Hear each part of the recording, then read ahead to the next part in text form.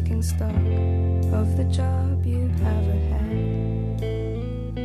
You will find what's behind all the actions of this kind, be it all that they're happening in my head. There's this guy